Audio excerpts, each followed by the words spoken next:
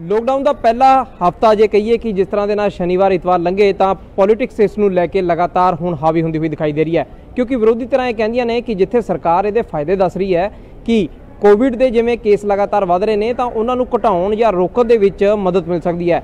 ਪਰ ਵਿਰੋਧੀਆਂ ਦੇ ਤਰਕ ਹੋਰ ਨੇ। ਵਿਰੋਧੀ ਸਾਫ਼ ਤੌਰ ਤੇ ਕਹਿੰਦੇ ਨੇ ਕਿ ਜਿਸ ਤਰ੍ਹਾਂ ਦੇ ਨਾਲ ਹੁਣ ਸ਼ਨੀਵਾਰ ਇਤਵਾਰ ਦੀ ਗੱਲ ਕੀਤੀ ਗਈ ਹੈ ਕਿ ਕਰੋਨਾ ਛੁੱਟੀ ਤੇ ਚਲਾ ਜਾਏਗਾ ਜਾਂ ਫਿਰ ਇਹਦੇ ਨਾਲ ਸਿਰਫ ਲੋਕਾਂ ਦੀ ਖੱਜਲ ਖੁਆਰੀ ਹੋਣੀ ਹੈ। ਫਾਇਦਾ ਕੋਈ ਵੱਡੇ ਲੈਵਲ ਤੇ ਨਹੀਂ ਹੋਣ ਵਾਲਾ। ਅਕਾਲੀ ਦਲ ਤਾਂ ਇੱਥੇ ਤੱਕ ਕਹਿੰਦਾ ਕਿ ਇਹਦੇ ਸਾਇੰਟੀਫਿਕਲੀ ਰੀਜ਼ਨ ਕੀ ਨੇ। ਪਰ ਪਹਿਲਾਂ ਗੱਲ ਸਰਕਾਰ ਦੀ ਕਰ ਲੈਂਦੇ ਆ ਤ੍ਰਿਪਤਿੰਦਰ ਬਾਜਵਾ ਦਾ ਕਹਿਣਾ ਹੈ ਕਿ ਇਹ ਫੈਸਲਾ ਕੋਈ ਸਰਕਾਰ ਨੇ ਸਿੱਧੇ ਤੌਰ ਤੇ ਨਹੀਂ ਲਿਆ। ਬਲਕਿ ਜਿਹੜੀ ਕਮੇਟੀ ਬਣਾਈ ਗਈ ਹੈ, ਉਹ ਕਮੇਟੀ ਦੇ ਹੈੱਡ ਨੇ ਕੇ ਕੇ ਤਲਵਾਰ, ਜੋ ਕਿ ਪੀਜੀਆਈ ਦੇ ਪੂਰਵ ਡਾਇਰੈਕਟਰ ਨੇ, ਉਹਨਾਂ ਦੀ ਡਿਸਕਸ਼ਨ ਤੋਂ ਬਾਅਦ ਹੀ ਆ ਮੁੱਖ ਮੰਤਰੀ ਨੇ ਫੈਸਲਾ ਲੈਤਾ ਤਾਂ ਕਿ ਕਰੋਨਾ ਨੂੰ ਰੋਕਿਆ ਜਾ ਸਕੇ। ਦੇਖੋ ਜੀ, ਡਾਕਟਰਾਂ ਦੀ ਕੈਪਟਨ ਸਾਹਿਬ ਨੇ ਮਾਹਰ ਕਮੇਟੀ ਬਣਾਈ ਹੋਈ ਹੈ। ਤਰਵਾਲ ਵਰਗੇ ਡਾਕਟਰ ਸਿਆਣੇ ਹੈਗੇ ਨੇ। ਤੇ ਸਾਰਿਆਂ ਨਾਲ ਸਲਾਹ ਕਰਕੇ ਕੀਤਾ ਵਾ, ਲੋਕਾਂ ਦੇ ਭਲੇ ਵਾਸਤੇ ਕੀਤਾ। ਪਰ ਜਿਹੜੀਆਂ ਜ਼ਰੂਰੀ ਇੰਡਸਟਰੀ ਵਗੈਰਾ ਚੱਲਦੀ ਰਹੇਗੀ ਤੇ ਲੋਕਾਂ ਦੇ, ਕਿਉਂਕਿ ਇਹ ਜਿਹੜੀ ਬਿਮਾਰੀ ਆ, ਇਹ ਬਾਹਰ ਜੇ ਜਾਈਏ ਤੇ ਬਾਹਰੋਂ ਲੈ ਕੇ ਘਰ ਆਈਦੀ ਆ। ਸੋ ਮੂਵਮੈਂਟ ਘਟਾਉਣ ਲਈ ਕੀਤਾ ਵਾ। ਅਕਾਲੀ ਦਲ ਦੇ ਸੀਨੀਅਰ ਨੇਤਾ ਦਲਜੀਤ ਚੀਮਾ ਖੁਦ ਇੱਕ ਡਾਕਟਰ ਨੇ। ਉਹਨਾਂ ਦਾ ਕਹਿਣਾ ਹੈ ਕਿ ਜੇ ਇਸ ਪੂਰੇ ਮਸਲੇ ਨੂੰ ਦੇਖਿਆ ਜਾਵੇ ਤਾਂ ਕੋਈ ਸਾਇੰਟੀਫਿਕਲੀ ਰੀਜ਼ਨ ਨਹੀਂ ਬਣਦਾ ਕਿ ਸ਼ਨੀਵਾਰ ਇਤਵਾਰ ਛੁੱਟੀ ਕਰਕੇ ਤੁਸੀਂ ਲੋਕਾਂ ਨੂੰ ਘਰੇ ਰੋਕ ਕੇ ਆਖਿਰਕਾਰ ਕਰੋਨਾ ਤੇ ਕੋਈ ਹੱਲ ਪਾ ਸਕਦੇ ਹੋ। ਬਲਕਿ ਉਹ ਲੋਕਾਂ ਵਾਸਤੇ ਸਿਰਦਰਦੀ ਬੰਦੀ ਹੋਈ ਨਜ਼ਰ ਆਊ। ਪਹਿਲੀ ਗੱਲ ਤਾਂ ਜੇ ਲੋਕ ਬਾਹਰ ਸਮਾਨ ਖਰੀਦਣ ਜਾਣਾ ਚਾਹੁੰਦੇ ਨੇ, ਤਾਂ ਕੀ ਹਰ ਕੋਈ ਈ ਪਾਸ ਬਣਾਊਗਾ? ਖੱਜਲ ਖੁਆਰੀ ਇਹਦੇ ਨਾਲ ਵਧੂਗੀ। ਨਾਲ ਹੀ ਦੂਜੇ ਪਾਸੇ ਕਿ ਜਿਹੜੇ ਲੋਕ ਸਰਕਾਰੀ ਕਰਮਚਾਰੀਆਂ ਦੀ ਗੱਲ ਹੋਵੇ, ਤਾਂ ਉਹ ਜਦੋਂ 5 ਦਿਨ ਲਗਾਤਾਰ ਦਫ਼ਤਰਾਂ ਦੇ ਵਿੱਚ ਕੰਮ ਕਰਦੇ ਨੇ, ਤਾਂ ਕੀ ਕੋਈ ਜ਼ਰੂਰੀ ਸਮਾਨ ਖਰੀਦਣ ਵਾਸਤੇ ਉਹ ਆਮ ਦਿਨਾਂ ਦੇ ਵਿੱਚ ਛੁੱਟੀ ਲੈਣਗੇ? ਤੀਜੀ, ਉਹਨਾਂ ਨੇ ਇੱਕ ਗੱਲ ਇਹ ਸਵਾਲ ਖੜਾ ਕਰਿਆ ਸਰਕਾਰ ਦੇ ਸਾਹਮਣੇ ਕਿ ਜਿਹੜਾ ਮਜ਼ਦੂਰ ਬੰਦਾ ਹੈ ਜਾਂ ਪ੍ਰਾਈਵੇਟ ਕੋਈ ਨੌਕਰ ਹੈਗਾ, ਉਹਦੇ ਵਾਸਤੇ ਤਾਂ ਸਾਰੇ ਦਿਨ ਇੱਕੋ ਜਿਹੇ ਨੇ ਇਹ ਦੋ ਦਿਨਾਂ ਦੇ ਵਿੱਚ ਰੋਕ ਕੇ ਉਹਦੀ ਪਰੇਸ਼ਾਨੀ ਵਧੇਗੀ ਜਾਂ ਕਰੋਨਾ ਖਤਮ ਹੋਣ ਦੇ ਵਿੱਚ ਇਹ ਕਦਮ ਹੋਏਗਾ, ਇਹ ਵੱਡਾ ਸਵਾਲ ਉਹਨਾਂ ਨੇ ਸਰਕਾਰ ਤੇ ਖੜਾ ਕੀਤਾ ਹੈ। ਮੈਨੂੰ ਹੈਰਾਨੀ ਹੁੰਦੀ ਹੈ, ਜਦੋਂ ਸਰਕਾਰ ਦੇ ਇਹੋ ਜਿਹੇ ਫੈਸਲੇ ਅਸੀਂ ਸੁਣਦੇ ਹਾਂ ਕਿ ਵੀਕਐਂਡ ਦੇ ਉੱਤੇ ਸ਼ਨੀਚਰ ਐਤਵਾਰ ਨੂੰ ਫਿਰ ਲਾਕਡਾਊਨ ਕੀਤਾ ਜਾਏਗਾ ਔਰ ਮੈਂ ਸਮਝਦਾ ਕਿ ਇੱਕ ਵੀ ਗੱਲ ਸਰਕਾਰ ਇਹਨੂੰ ਜਸਟੀਫਾਈ ਕਰਨ ਵਾਸਤੇ ਨਹੀਂ ਦੱਸ ਸਕਦੀ। ਕਿ ਇਹਦਾ ਸਾਇੰਟੀਫਿਕ ਬੇਸ ਕੀ ਹੈ? ਇਹਦੇ ਨਾਲ ਮੈਡੀਕਲੀ ਕਿਵੇਂ ਫਾਇਦਾ ਹੋਏਗਾ? ਇਹ ਸਿੰਪਲੀ ਇੱਕ ਪੈਨਿਕ ਰਿਐਕਸ਼ਨ ਤੇ ਜਦੋਂ ਆਪ ਤਾਂ ਤੁਸੀਂ ਆਪਣੇ ਆਪ ਨੂੰ ਕਮਰਿਆਂ ਦੇ ਵਿੱਚ ਬੰਦ ਕਰਦੇ ਹੋ ਤੇ ਜਿਉਂ-ਜਿਉਂ ਤੁਸੀਂ ਟੀਵੀ ਤੇ ਖਬਰਾਂ ਸੁਣਦੇ ਹੋ, ਡਰਦੇ ਜਾਂਦੇ ਹੋ, ਤੇ ਪੈਨਿਕ ਦੇ ਵਿੱਚ ਇਸ ਤਰ੍ਹਾਂ ਦੇ ਰਿਐਕਸ਼ਨ ਜਿਹੜੇ ਆ, ਉਹ ਤੁਸੀਂ ਲਈ ਜਾਂਦੇ ਲੱਖਾਂ ਦੀ ਗਿਣਤੀ ਦੇ ਵਿੱਚ ਲੋਕੀ ਨੇ ਜਿਹੜੇ ਰੋਜ਼ ਰੁਜ਼ਗਾਰ ਵਾਸਤੇ ਕਿਤੇ ਨਾ ਕਿਤੇ ਜਾਂਦੇ ਆ। ਕੋਈ ਦਿਹਾੜੀ ਕਰਨ ਜਾਂਦਾ, ਕੋਈ ਮਿਸਤਰੀ ਹੈ, ਕੋਈ ਹੋਰ ਕੰਮ ਕਰਨ ਵਾਸਤੇ ਜਾਂਦਾ, ਕੋਈ ਮਕੈਨਿਕ ਹੈ। ਹੁਣ ਲੱਖਾਂ ਦੀ ਗਿਣਤੀ 'ਚ ਲੋਕੀ ਕਿੱਥੋਂ ਕੋਵਿਡ ਐਪ ਤੋਂ ਆਪਣਾ ਰੋਜ਼ ਈ ਪਾਸ ਜਿਹੜਾ ਲੱਭਿਆ ਕਰਨਗੇ।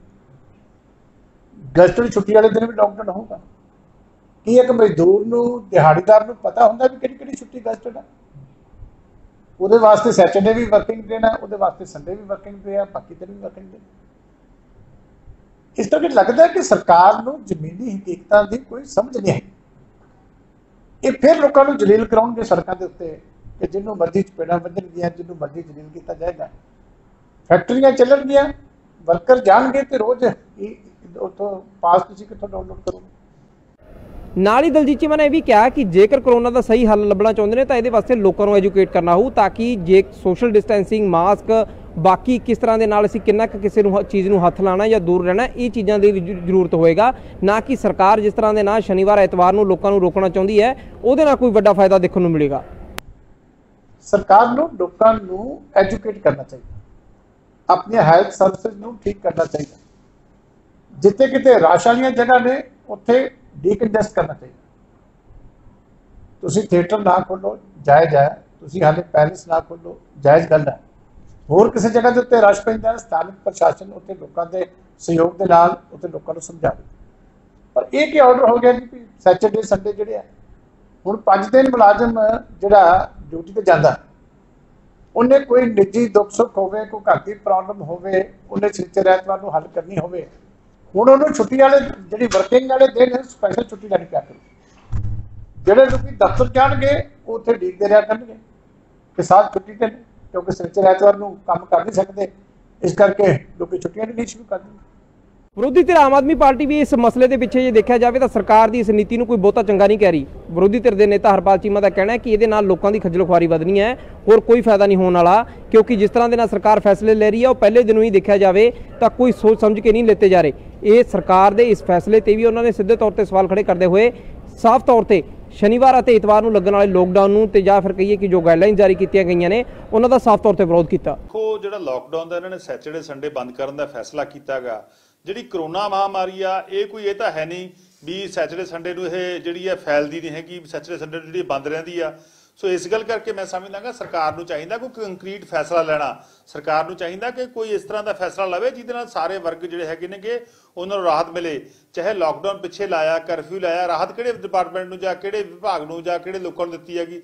ਕਿਸੇ ਜਿਹੜੇ ਲੋਕਾਂ ਨੂੰ ਕੋਈ ਰਾਹਤ ਨਹੀਂ ਮਿਲੀ। ਸੋ ਮੈਂ ਸਮਝਦਾ ਇਹ ਲਾਕਡਾਊਨ ਜਿਹੜਾ ਲਾਇਆਗਾ, ਸੋ ਇਹਦੇ ਨਾਲ ਲੋਕਾਂ ਦੀ ਖੱਜਲ ਖੁਆਰੀ ਬਹੁਤ ਜ਼ਿਆਦਾ ਹੋਣੀ ਹੈ ਉਸ ਕਿਉਂਕਿ ਸਰਕਾਰ ਕੋਲੇ ਖਾਸ ਤੌਰ ਤੇ ਕੈਪਟਨ ਸਾਹਿਬ ਕੋਲੇ ਕੋਈ ਇਸ ਤਰ੍ਹਾਂ ਦਾ ਕੋਈ ਅੱਛਾ ਕੋਈ ਫੈਸਲਾ ਨਹੀਂ ਲੈ ਰਹੇ ਲੰਬੇ ਅਰਸੇ ਤੋਂ ਉਹਦੇ ਕੋਲ ਜਿੰਨੇ ਵੀ ਉਹਨਾਂ ਦੇ ਫੈਸਲੇ ਨੇਗੇ ਸਾਰੇ ਲੋਕ ਵਿਰੋਧੀ ਹੋ ਨਿਬੜੇ ਨੇਗੇ ਵਿਰੋਧੀਆਂ ਨੇ तमाम ਸਵਾਲ ਖੜੇ ਕੀਤੇ ਨੇ ਸਰਕਾਰ ਨੇ ਲੋਕਡਾਊਨ ਦੀ ਸ਼ੁਰੂਆਤ ਵੀ ਕਰਤੀ ਹੈ ਆਖਰਕਾਰ ਹੁਣ ਇਹਦੇ ਨਤੀਜੇ ਕਿਸ ਤਰ੍ਹਾਂ ਦੇ ਆਉਣਗੇ ਵਿਰੋਧੀਆਂ ਦਾ ਕੰਮ ਹੈ ਹਮੇਸ਼ਾ ਸਵਾਲ ਖੜੇ ਕਰਨਾ ਤੇ ਦੂਜੇ ਪਾਸੇ ਹੁਣ ਦੇਖਣਾ ਹੋਊਗਾ ਕਿ ਆਮ ਲੋਕਾਂ ਦੀ ਦਿਨਚਰਿਆ ਤੇ ਕਿਸ ਤਰ੍ਹਾਂ ਦਾ ਅਸਰ ਪੈਂਦਾ ਹੈ ਕਿਉਂਕਿ ਕੋਵਿਡ ਨੂੰ ਰੋਕਣ ਦੇ ਵਾਸਤੇ ਸਰਕਾਰ ਦਾ ਇਹ ਇੱਕ ਚੰਗਾ ਕਦਮ ਹੈ ਤੇ ਦੂਜੇ ਪਾਸੇ ਲੋਕਾਂ ਦੇ ਆਮ ਦਿਨਾਂ ਤੋਂ ਬਾਅਦ ਛੁੱਟੀਆਂ ਦੇ ਦਿਨਾਂ ਦੇ ਵਿੱਚ ਲੋਕਡਾਊਨ ਹੋਣਾ ਕੀ ਸਮੱਸਿਆ ਨੂੰ ਵਧਾਏਗਾ ਜਾਂ ਫਿਰ ਬਿਮਾਰੀ ਨੂੰ ਰੋਕਣ ਵਾਸਤੇ ਇਸ ਤਰ੍ਹਾਂ ਦੇ ਸੈਕਰੀਫਾਈਸ ਲੋਕਾਂ ਨੂੰ ਕਰਨੇ ਹੋਣਗੇ। ਵੀਡੀਓ ਜਰਨਲਿਸਟ ਗੌਰਵ ਦੇ ਨਾਲ Sumit Joshi Daily Post Punjabi Chandigarh. Lockdown